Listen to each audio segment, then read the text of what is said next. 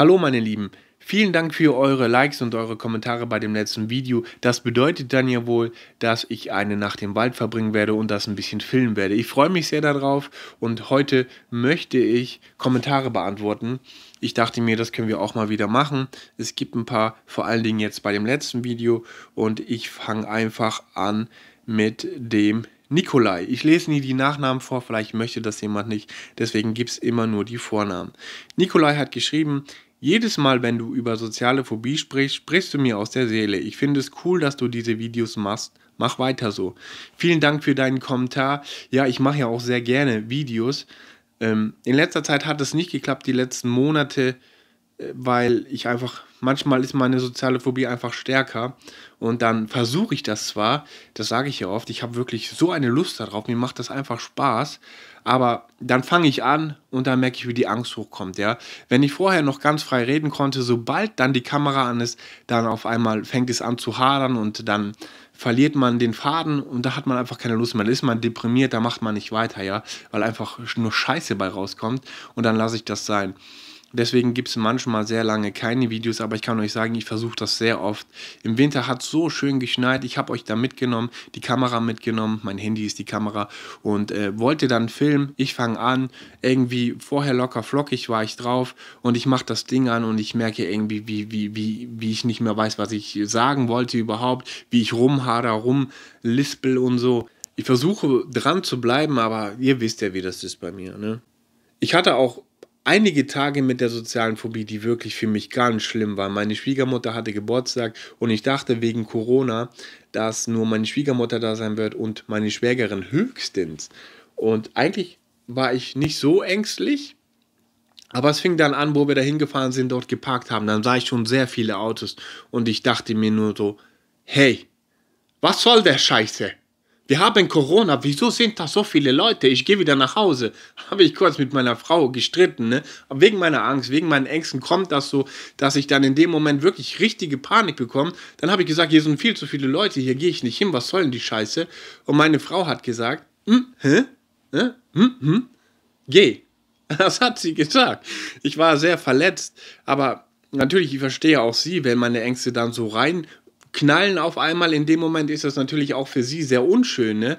Äh, ich bin dann trotzdem rein und bin gleich in den Raum rein. Ich habe nicht mal meine Jacke ausgezogen. Ich hätte mal meine Jacke ausziehen sollen, runterkommen sollen, irgendwie erstmal. Aber ich gleich in den Raum rein und dann waren da wirklich einige Leute und mir war das so unangenehm. Ich bin sogar rot geworden. Und das hatte ich lange nicht mehr, dass mir was so peinlich ist. Und auch ich war so aufgeregt.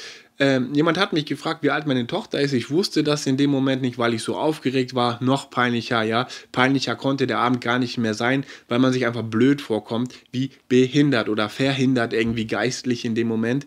Das ist auch so, wenn ich ja die Videos mache und dann kommt die Angst dann auf einmal. Äh, Hallo meine Freunde, heute mache ich ein Video für euch. Dann ist manchmal so, dann ist einfach diese Grundstimmung so am Arsch, da kommst du gar nicht mehr raus. Ja, das wird dann nur noch schlimmer, weil du dann mit Gewalt versuchst, irgendwie deine Angst zu, zu hintergehen, ja, und dann das wird alles eine Katastrophe. Danach hast du keinen Bock mehr. Jedenfalls, wo meine Schwiegermutter Geburtstag hatte, habe ich dann mir ein Stück Kuchen geholt. Ich habe gleich gedacht, komm, ess schnell was, dann hast du was in den Händen, was zu tun, kannst dich darauf konzentrieren. So, der Fokus liegt wahrscheinlich dann nicht so auf dir, auf dir, auf dich. Äh, das habe ich dann auch gemacht, das war gut, aber an dem Tag, ich habe sie lange nicht mehr so stark gespürt, meine soziale Phobie, und ich war glücklich, als ich gehen konnte. Mein Gamechanger ist mein Hund, ja, der kann nicht so lange alleine bleiben. Und dann kann ich immer nach einer Zeit sagen, so, jetzt muss ich mal nach dem Hund gehen, gucken gehen und dann konnte ich gehen. Ich war so erleichtert. Mir ist so, so ein Stein von meinen Schultern runtergeflogen. Das war mir so unangenehm. Ich habe auch danach geweint. Ich war emotional ein Frack. Ich war ein Frack danach.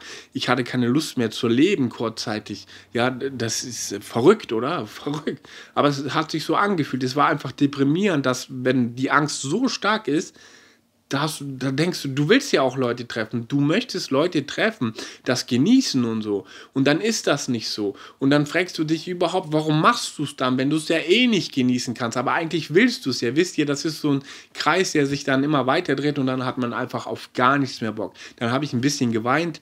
Äh, ja, hatte auch darüber dann ein Video gemacht Aber das habe ich nicht hochgeladen, weil ich möchte auch nicht da zeigen, wie ich da rumheule und da, ja, ihr könnt es euch ja vorstellen, wenn ihr auch so Ängste habt, wie sich das da angefühlt hat, wie das war. Das war, als wäre, boah, die Welt ist untergegangen kurzzeitig. Und das war auch die Zeit, wo ich das dann mit den Videos so nicht geklappt hat. Ich war einfach ein bisschen so deprimiert und unzufrieden, sehr unzufrieden, dass ich die Dinge nicht so hinbekomme. Ja, aber ich wollte ja die Kommentare eigentlich vorlesen, meine Freunde. Deswegen geht's mal weiter. Nikolai, Dankeschön für deinen Kommentar. Der nächste Kommentar ist von Brutus. Mach das, fahre auch immer raus in die Natur campen, wenn die Ängste mal wieder eskalieren.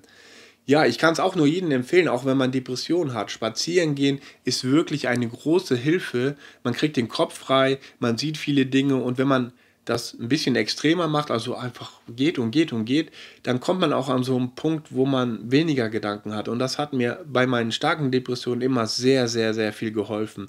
Wo ich äh, damals in Leipzig war, war ich immer spazieren und habe Fotos gemacht und das beides so gepaart, das war wirklich, das war sehr hilfreich, weil wenn ich Fotos gemacht hatte, darauf hatte ich Lust, so wie Film, dann habe ich so die, die Eisenbahn fotografiert. Ich kann euch mal ein paar Bilder hier einblenden, die ich noch so finde von früher, die habe ich äh, auf so eine Facebook-Seite dann gemacht. Ja, das hatte mir dann Hoffnung gegeben, irgendwie Fotos zu machen.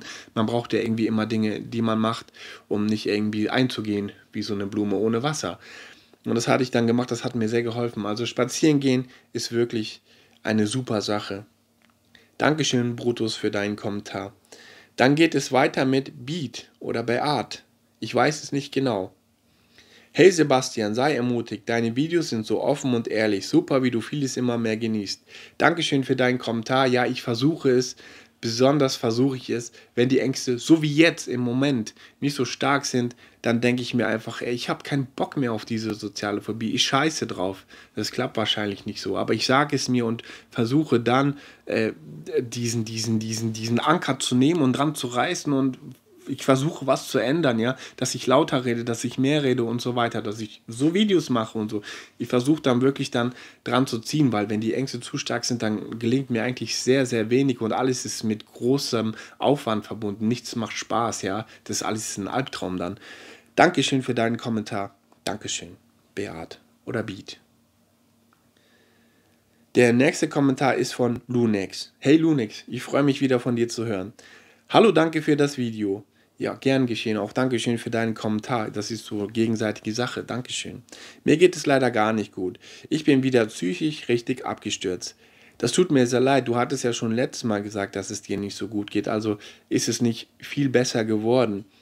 Ähm, ja, ich kann dir da leider nicht helfen. Ich kann dir nur sagen, nach jedem Regen kommt die Sonne. Das hört sich so dumm an, wenn man das sagt, wenn es einem ganz schlecht geht, weil äh, meistens hilft dann eh nie, was ein anderer sagt. Ja, Vielleicht auch mal spazieren gehen, mehr rausgehen. Vielleicht ist auch ein Hund was für dich, aber du arbeitest ja. Aber ja, irgendwie versuchen, das zu durchbrechen. Manchmal geht es auch nicht. Ich habe auch Zeiten, da geht das nicht. Da sehe ich das nicht. Da, da mache ich das, weiß nicht. Da, da, da klappt, gelingt das einfach nicht. Es, ich finde es auf jeden Fall scheiße, dass es ähm, dir nicht gut geht. Ich würde mir sehr wünschen, dass es dir endlich besser geht. Ich war auf deinem Kanal, du hast ja auch so einen Kanal, da hast du so einen Shorts gemacht. Ich bin Dagobert finde ich cool. Würde mich auch freuen, wenn du, wenn es dir Spaß macht, auch wenn du da mehr Videos machst. Vielleicht hilft dir das ja auch etwas mehr Selbstbewusstsein zu bekommen oder darin irgendwie so deine Entspannung zu finden. Du hast ja mal gesagt, dass du öfters trinkst wegen der Arbeit und so. Und ich habe dir ja auch schon gesagt, dass das auf jeden Fall nicht gut ist. Ich kann das 100% verstehen. Ich war ja selber so. Aber langfristig ist es halt scheiße. Vielleicht, keine Ahnung. Hast du es nun mal versucht, nachts mehr spazieren zu gehen oder so? Irgendwie, irgendwas, was dir Spaß macht. Was, was macht dir denn am meisten Spaß? Es tut mir sehr leid, dass ich keine Hilfe so in der Form für dich habe. Trotzdem vielen Dank für deinen Kommentar. Ich freue mich immer wieder, wenn ich von dir lese, weil du bist schon sehr lange mit dabei und du bist auch einfach ein sehr ehrlicher Typ. Ja, du sagst immer auch, wenn dir was nicht passt, ja, also wenn du wo denkst, ich würde irgendwie übertreiben oder Blödsinn erzählen, dann sagst du das auch offen und ehrlich und äh, dafür bin ich auch sehr dankbar. Dankeschön dafür, ja. Ähm, es geht weiter mit Blackburn. Blackburn hat geschrieben, Lust schon, aber wir kennen uns noch gar nicht. Wenn zu viele kommen würden, wenn sie nicht in meinem Alter sind, wenn es zu weit weg ist. Äh, ich habe mich da, glaube ich, ein bisschen missverständlich ausgedrückt. Es ist so, dass ich alleine in den Wald gehe mit dem Hund und darüber dann das filme und das dann später auf YouTube hochlade. Ist nicht so gedacht, dass ihr mitkommen könnt. Das wäre mir auch ein bisschen zu viel dran. Da, da kriege ich gleich, mein Rücken wird gleich krumm. das wäre mir dann auch ein bisschen überfordernd, ja. Äh, weil ich sagte ja einmal in dem Video davor, ähm, äh, ihr, ihr ähm, Junge, jetzt bin ich ganz durcheinander. Ich sagte irgendwie sowas wie, ähm, ich, ich gehe dann in den Garten und ihr könnt in den Wald oder so. Irgendwie, das hatte ich auch so. Ich dachte auch so, was hast du da gesagt? Das hatte ich so angehört, als wenn ich euch in den Wald lasse und ich in den Garten gehe, ja. Es war natürlich nicht so gemeint. Wenn ihr dabei wärt, würdet ihr natürlich auch mit in den Garten kommen. Hey, so unverschämt bin ich auch nicht, ja. Ich gehe schön in den Garten und ihr bleibt allein im Wald. War ein Missverständnis. Ähm, ja, Blackburn. Dankeschön für deinen Kommentar. Äh, ja, Dankeschön. Der nächste Kommentar war unter so einem Short-Video. Das war so ein kleines Video, irgendwas mit meinem Hund. Da hat M. Punkt geschrieben, ist das sein Therapiehund? Fragezeichen. Armes Tier, der Typ braucht Elektroentkrampfung. Ähm, weiß nicht, dann guck dir die Videos doch nicht an, wenn du damit nicht umgehen kannst, mein Freund. Ja, das dazu reicht. Ähm, Blueberry hatte auch beim Short gefragt, wo liegt denn momentan Schnee? Das war in Baden-Württemberg. Ich glaube, hier liegt der Schnee sehr lange, deswegen war hier noch Schnee. Dann habe ich noch einen Kommentar von Light Generate, der hat geschrieben, ich habe Angst vorm Einkaufen, also immer, wenn ich an der Kasse stehe. Das hatte ich früher auch sehr stark. Ich bin nicht einkaufen gegangen, wenn ich irgendwie gesehen habe, die Kasse ist voll. Ich habe vorher das Geld tausendmal nachgezählt, dass da bloß nicht eine Situation entsteht, die mir peinlich ist. Mittlerweile kann ich sagen, das geht. Ich habe manchmal immer noch Angst, aber es ist okay. So ist okay für mich. Damit kann ich einkaufen gehen. Aber ich kann das verstehen. Äh, wie sich das aufgelöst hat, keine Ahnung. Ich weiß es nicht, ja. Es, es hat einfach irgendwann, weiß nicht. Vielleicht habe ich es hinterfragt, was passieren würde, wenn ich das Geld vielleicht nicht passend ist, wenn vielleicht doch jemand mit mir reden würde oder so, dass ich dann gesehen habe, dass da eigentlich im Grunde nichts Schlimmes passieren kann. Ich weiß nicht, warum das, warum das weg ist. Aber Dankeschön, dass es weg ist. Dankeschön, dass es weg ist. Ich hatte noch andere Kommentare hier, die habe ich noch nicht beantwortet, weil ich die auch mal im Video beantworten wollte und jetzt finde ich die einfach nicht mehr. Dann ist noch ein Kommentar von Atomic. Hast Angst vor dem Telefonieren, aber nicht vor tausenden Leuten offen über deine Krankheit reden. Respekt, also wirklich Respekt. Atomic, sorry, ich werde auch weiterhin Videos machen, auch wenn dir das irgendwie dann nicht passt. Ja, das kann doch keine soziale Phobie sein, ja. Du machst Videos, aber kannst nicht vor tausend Leuten reden. Ich rede ja nicht live mit denen. Wenn dir das nicht irgendwie auffällt oder klar ist, dann keine Ahnung.